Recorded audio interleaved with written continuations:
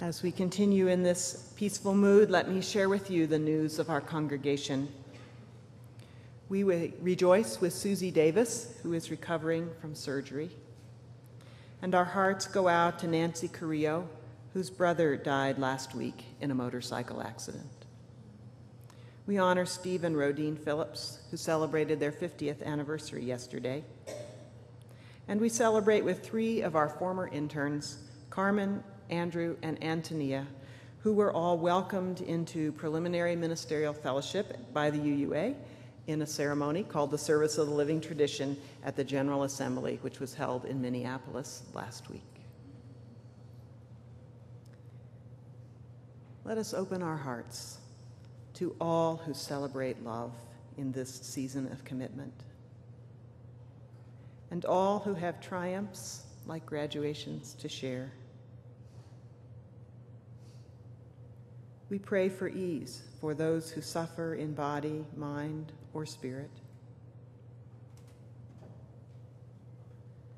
We wish all those who did the business of the UUA last week at the General Assembly safe and comfortable travels as they return home today and tomorrow.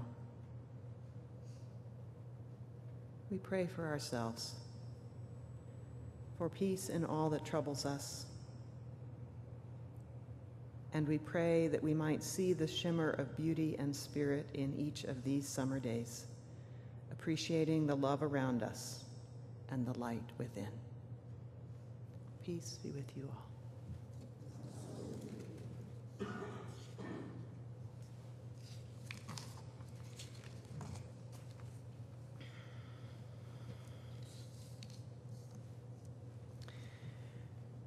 When the state of Arizona passed a clearly unconstitutional law mandating police to check the immigration status of everyone they were doing business with and who seemed to them, that's a pretty slippery word, seemed, likely to be an undocumented alien, I thought it was time that I learned a little more about this difficult subject. And the best way for me to make sure that I learn something about a new subject is to schedule myself to write a sermon on the topic. and that's what I did. Who boy. Turns out that immigration is not a topic. Immigration is a life study. And it's a life study in a field in which it seems nobody is neutral, and in which people are so passionate that they are very sloppy with the truth. It's a topic which requires thinkers to project into the future and pretend they're sure of themselves. It's a topic which reaches deeply into people's inner world into their need to be comfortable in society, secure in their job, feel that life is reasonably fair. It's a subject that trades in soul deep fears about change and fear of other. It's a subject that calls Americans back to the American dream and asks how far we should extend the American experiment. George H. Bush tried at the top of his power to get immigration reform and failed. President Obama was going to tackle it, but the recession got in the way. He wisely decided to postpone, but his hand is being forced. And unfortunately, democracy, especially polarized democracy, does not lend itself to decisions in which the facts, the numbers, and the assumptions are soft and everybody's ox is going to be gored. Immigration reform is a lot like climate change. It's going to tax our powers of understanding and cooperation to the max. And just as the folks who worried about climate change have latched on to climate chaos as a term to describe what's going on right now, so I'm going to call the current immigration situation in the U.S. immigration chaos. Vocabulary is important. What we have now is chaos. Since none of us like chaos, calling it that will help us get motivated to change it. And while we're on vocabulary, let's name the major players in immigration chaos correctly. It is morally abhorrent to call people illegals.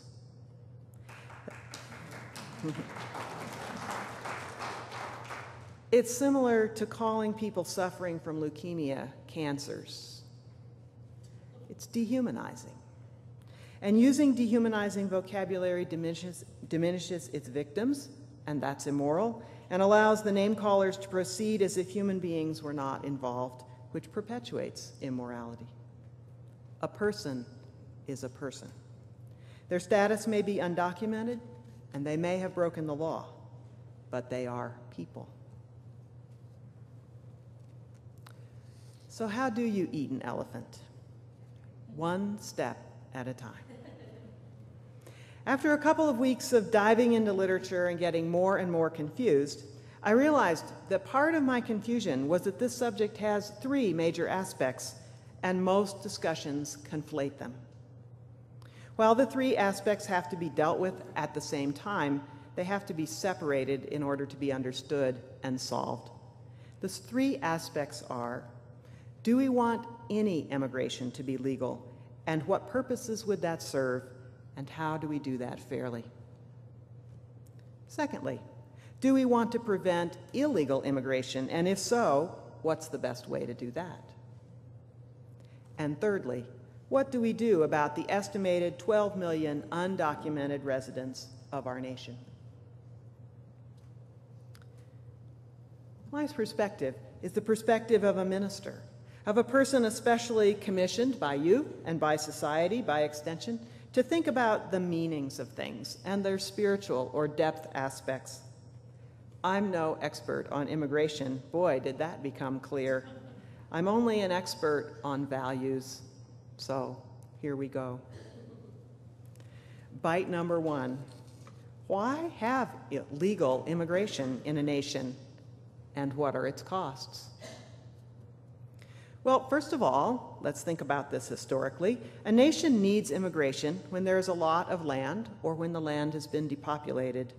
This was the case in the U.S. up to recently. While we should always remember that there were people here before America was here from whom the land was clearly stolen, that's another topic. The need for people to populate the land and own it and develop it according to Western values drove in this nation a very open immigration policy during most of our history. Immigration has made this nation what it is today. You can make a strong case that this nation is no longer in need of more people to develop it and keep it safe.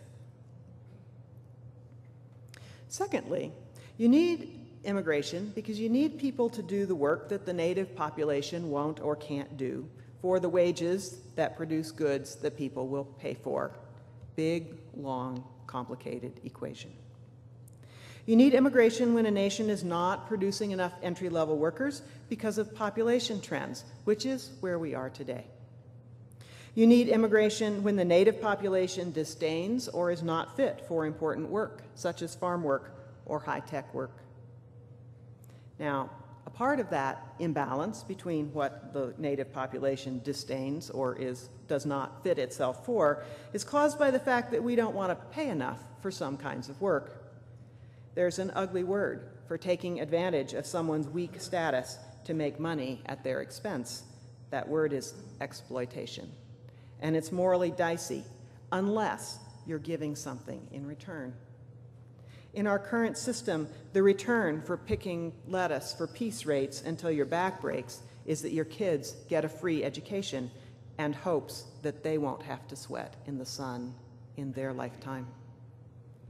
But if that's the scene, you're always going to need immigrant workers from destitute nations because the economy will never then tolerate good enough wages, working conditions, and benefits to attack the natives or even the children of your last generation of immigrants to work.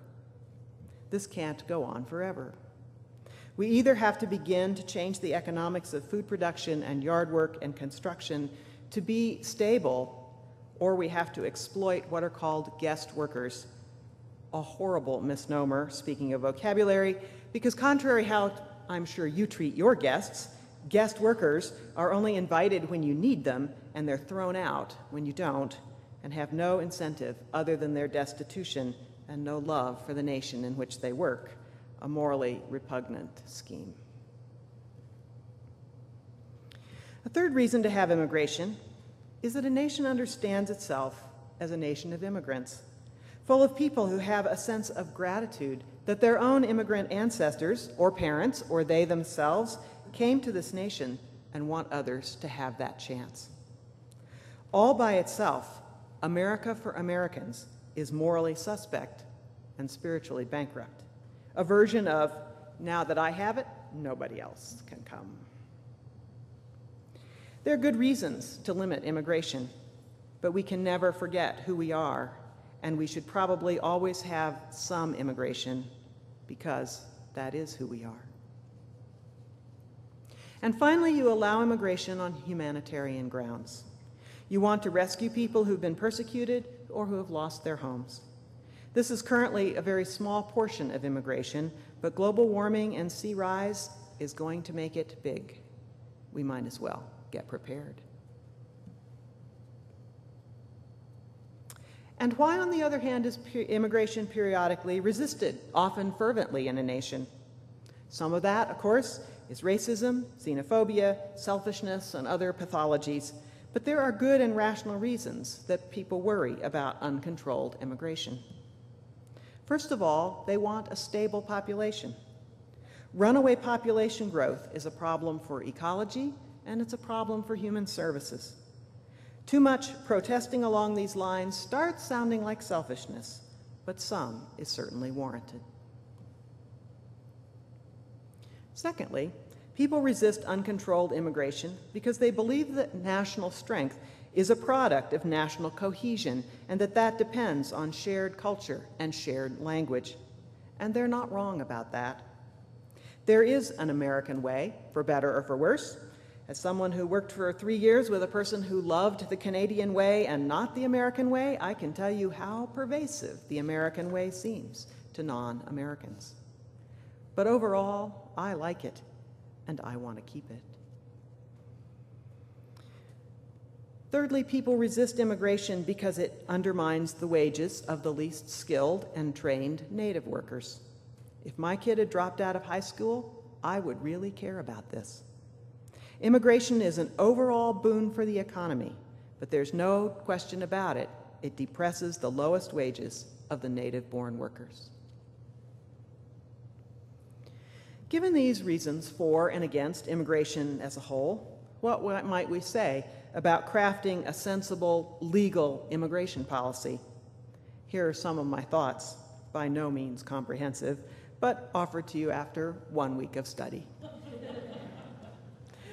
First of all, it seems to me that the, a new immigration law needs to slow down the pace of immigration for the moment, to let our self image as a proud and diverse nation of immigrants reassert itself over the fears and stresses of what has been, in the last 20 years, a very fast pace of change.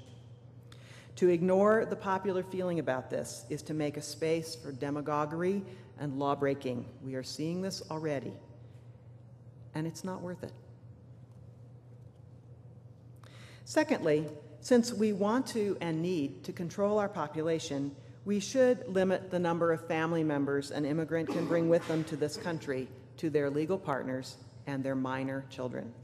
Everybody else applies on their own. And thirdly, the politicians should hammer out the philosophy of what kinds of industry needs the support of immigrant workers and leave the actual number crunching each year to be worked out administratively. Currently, it's Congress members with no more knowledge than you or I of the subject who set the number of legal immigrants that are allowed each year, and they set the numbers at irrationally low levels. Politicians don't feel they can afford to do anything else. But because these levels are woefully insufficient, there becomes the market for illegal workers. One major goal of immigration reform should be, in my opinion, to end illegal immigration. But there is no fence tall enough and no no man's land wide enough to keep out people who want to work if that fence has a sign on it that says help wanted. So that brings us to bite number two illegal immigration. So swallow hard, and here we go. You might think that it goes without saying that we want to end illegal immigration, but I'm sorry to say there are huge and powerful interests which like things just the way they are. These are the employers of illegal workers. The employment of illegal workers is extremely lucrative. These workers will work for under market wages. They don't complain about ill treatment.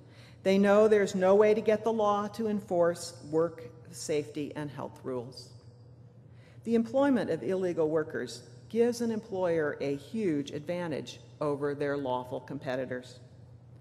I would point out that the consumer also benefits from these unfair and often immoral employment practices.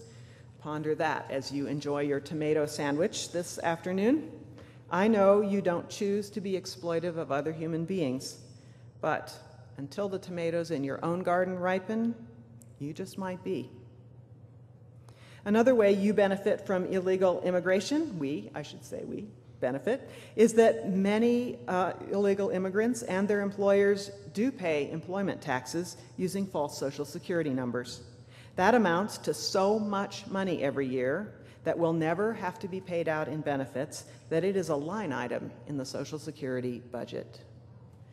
Illegal immigration is one of the reasons that Social Security is still solvent.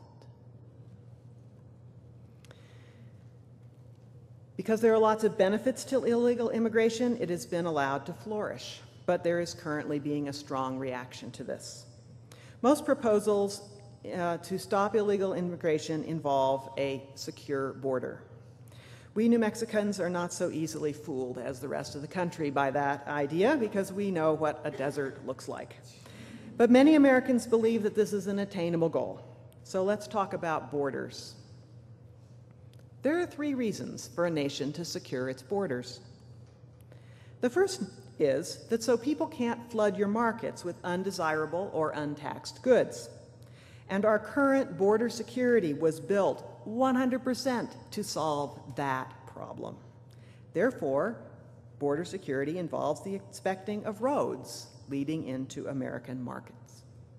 Even this goal is difficult when the undesirable goods in question are drugs which are very compact and hard to find, and when people can fly airplanes and bypass the roads. A second reason to keep people out of your nation is to keep them out if they mean you harm. Many kinds of people, spies, terrorists, escaping criminals, drug runners. How much of that you can realistically do, keep out people who mean you harm, is a question I can't answer. But it is clear, at least, that terrorists and spies favor eastern airports to southwestern deserts as their national entry of choice. The final reason to secure borders is to prevent undocumented workers from messing with your economy and allowing themselves to be exploited. But you don't need an expensive and indefensible fence to accomplish this goal. You only need two things.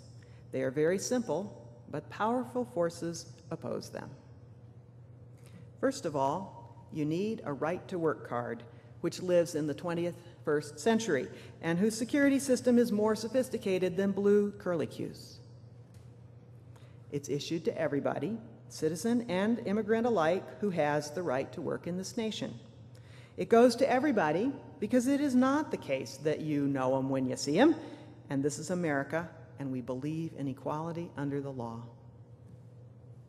Secondly, you enforce the law, which already exists, which requires employers to assure themselves that their employees have the right to work.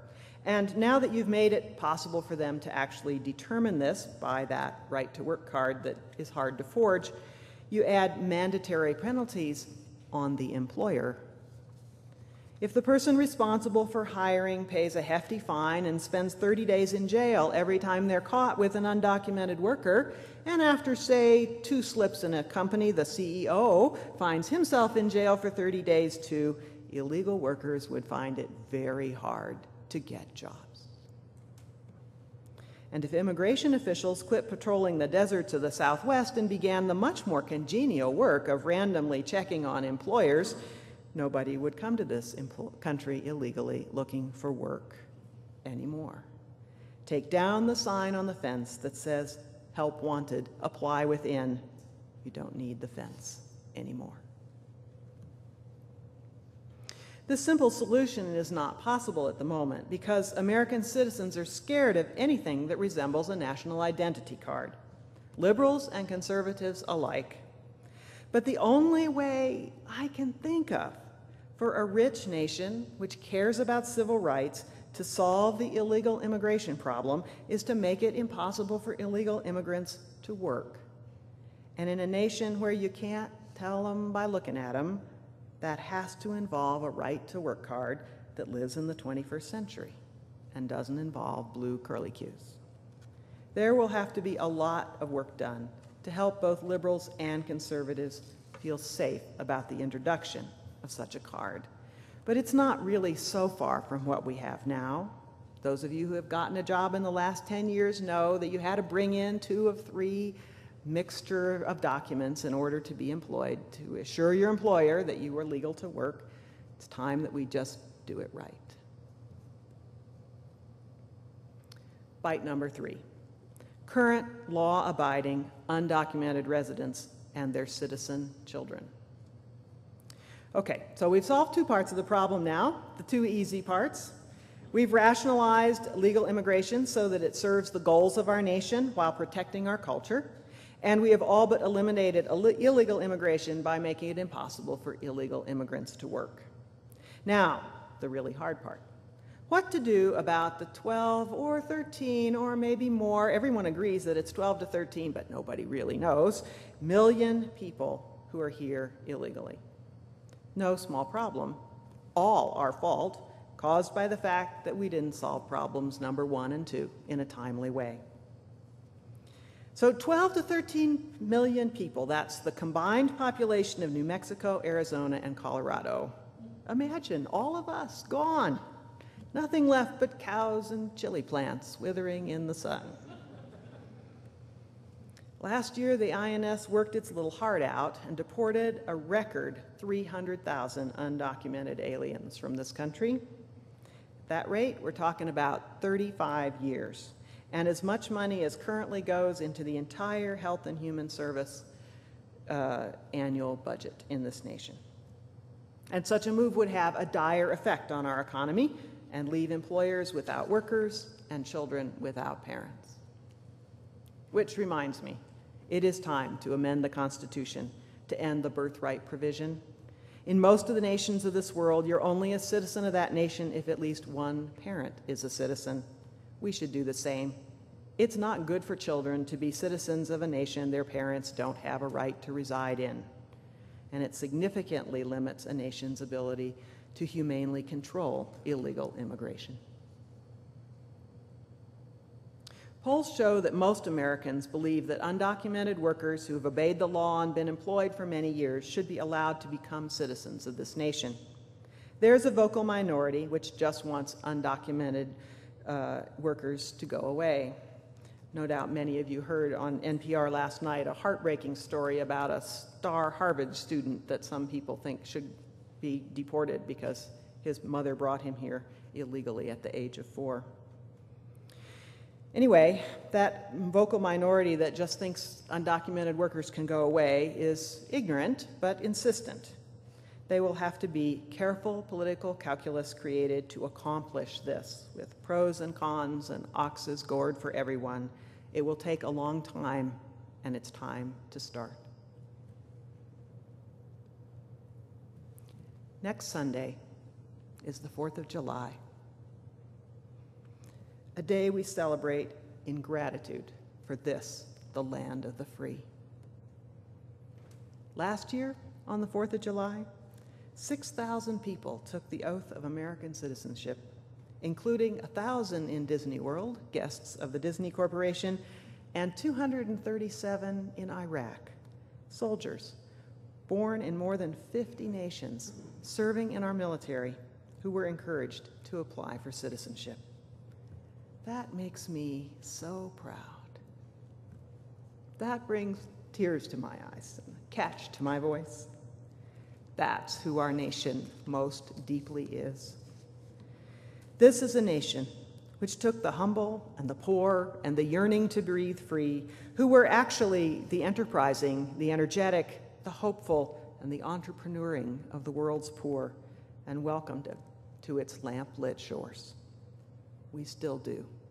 And if we are wise and if we are careful, we will always be able to continue.